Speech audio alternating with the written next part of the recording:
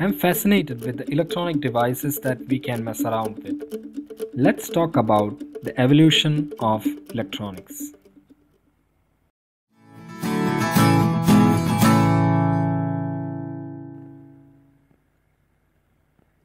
Edison effect was a phenomenon observed by Thomas Edison in 1875 while he was improving his incandescent lamp. He improved it later in 1883 stating that electrons will flow from one metal conductor to another through vacuum.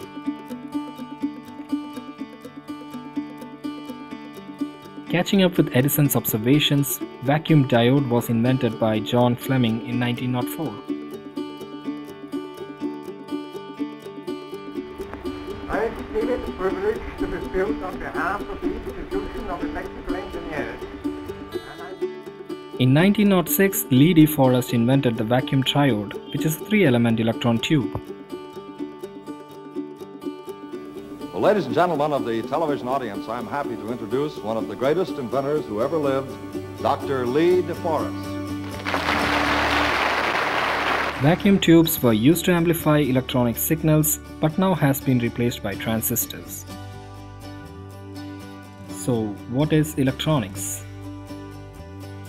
Electronics deals with the motion of electrons under the influence of an applied electric or magnetic field.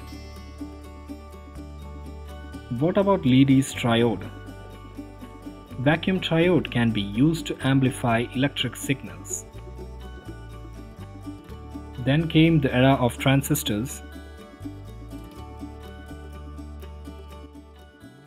A group of scientists in the laboratory of a telephone company was researching in a field of metals called semiconductors, and they wanted to find out what greater scientific value these metals might have.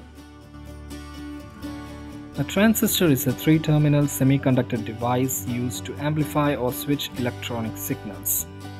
Transistors were discovered in Bell Laboratories. Walter Brattain, John Bardeen, William Shockley invented transistors.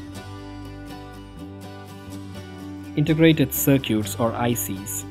The first generation were small-scale integration, medium-scale integration, large-scale integration and very large-scale integration. It functions as amplifier, oscillator, timer, counter or a microprocessor. The first generation ICs were developed in 1958 by Jack Kilby in the form of flip-flops. VLSI technology began in 1970s. Very large-scale integration is the process of creating an integrated circuit by combining thousands of transistors into a single chip.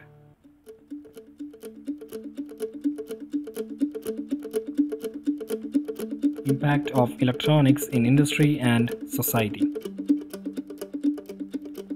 Today, electronics is everywhere around us, from smartphones to virtual reality devices. Electronics bridged the distance between people, created a virtual world, automated everything faster, better, and minimized cost. Electronics has revolutionized our industries. Process automation using robots helped to increase the overall production and reduce the cost of manufacturing production has become much more efficient and faster. Use of electronics in medical field as ECG, EEG, etc. made diagnosis very easy.